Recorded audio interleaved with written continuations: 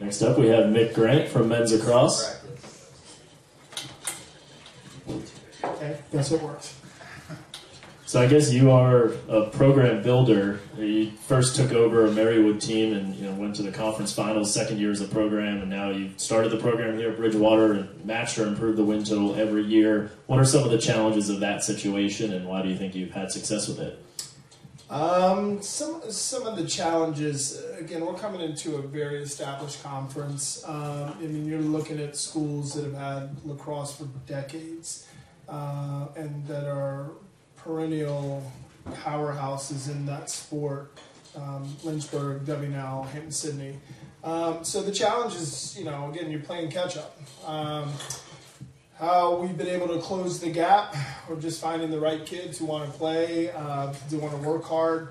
Um, you know, I heard Coach Spots talk about culture, kids that buy into what we're trying to do uh, as a program and individually. Um, and that are just good fits for, for Bridgewater and our lacrosse program. So uh, I think that's helped immensely in closing the gap with some of the mid tier teams and, and as we continue to strive to that upper level. And what is it like as a coach with sort of the unique unique situation of taking a year off just to recruit? You've done it twice now, and not having those games for a season as you build that team. Yeah, I wouldn't do it again. Um, you know, I think any competitor as a coach will tell you it's really tough to watch uh, the sport they love from the sidelines and not have a hand in good bad uh, aspect of it. So it's extremely tough. Uh, you know, I, I, joked with some family and friends when we did it first time that I'd never do it again. Uh, I did do it again. I'm glad I did it again. Uh, I certainly don't plan on doing it a third time. Um, so um, yeah, uh, it's it's tough to stand on the sidelines and watch. And you played in this conference. Can you tell us a little about your tell us a little bit about your time as a student athlete and then what got you into coaching lacrosse? Yeah, I don't. I won't tell you about much of my time as a student athlete, uh, other than the fact that again, I, I you know I didn't start at Hampden-Sydney. Uh, I started out two years at Ohio Wesleyan. Uh, was very fortunate to play at a high level there. Did transfer into Hampden-Sydney. Um, you know, and again, I think it's one of the selling points that I can talk to generally to our recruits about having played in a conference that the academics are good across the board, the athletics are good across the board, uh, the networking is good across the board, and so there's some validity there when I can tell them that yeah, I graduated from the school um, that's in the conference. So uh, it, it's nice to have that firsthand knowledge uh, of uh, the schools we're going against and and what it takes and what we're looking for in those student athletes. And like several other coaches we've interviewed tonight, you also have coaching experience at one of the other local schools at VMI. You know, what maybe some of the culture and discipline there? How has that helped enhance your coaching style as you then went on to become a head coach? Yeah, I think um, you know one of the one of the things I took from VMI, certainly outside of the discipline and and um, the obvious things that VMI provides, is just the genuine appreciation of loving what you do. Uh, even though it's a Division One school and there's a lot of people that you know play for various reasons, uh, the kids that went there genuinely loved what they do. They had to endure a different aspect uh, of college life that uh, most kids don't have to go through, and so I think just appreciating the opportunity to compete, play, pull for your uh, you know your teammate, and the brotherhood aspect. Uh, is certainly something that stuck with me in my nine years down there that I've tried to instill in, in the program here. And now here at Bridgewater, what, what do you look for in a student athlete when you recruit them here? That they're good, right? Uh, you know that you know that they want to be here and they want to play. I think you know Coach Spots you know touched on it too. I mean, you got to find the right kid, right? Uh, the kid that wants to be here.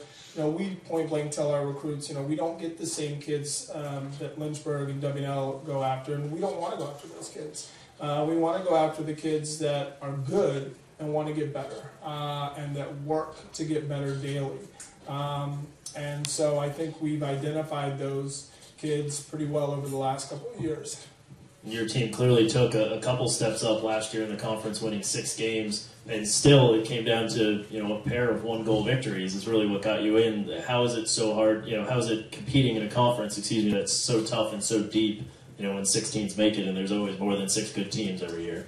Well, I think you know. I think that just shows the goes to the showing the validity of how tough the conference is. uh, from top to bottom. The bottom teams are getting better. Uh, I think it also shows validity when you tell your player that every game counts, right? And it's not cliched, and that you know you could upset a top four team and barely beat a team that's ranked eighth in the conference at the time by a goal. So there are no days off, and you know it's it's a great selling point uh, for us uh, that the conference from top to bottom is competitive and is getting more competitive.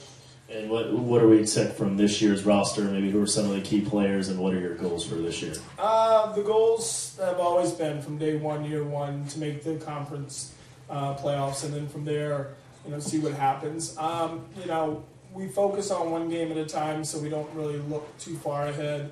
Um, this year's team is going to be different. We we lost a lot of key guys last year, a lot of all conference kids, a lot of guys that played for four years. So the experience factor we talk about, uh, we only have two seniors, right? So you can say we're kind of young, more inexperienced, because a lot of our juniors and sophomores played um, extensively last year. Uh, so I think it's a team that, you know, in February and early March, we'll be looking to try to find our identity uh, so that we can, you know, look for the bigger picture down in April and, and when it counts. So um, I'm excited to see it. It's a good group of guys. Um, practices have been going well, and um, you know we're, we're excited to get started soon. Yeah, you open up at home in just over two weeks' time. So. Yeah, late late start for us. Uh, well, good luck with the spring season, Mic Grant, everybody. Thank you.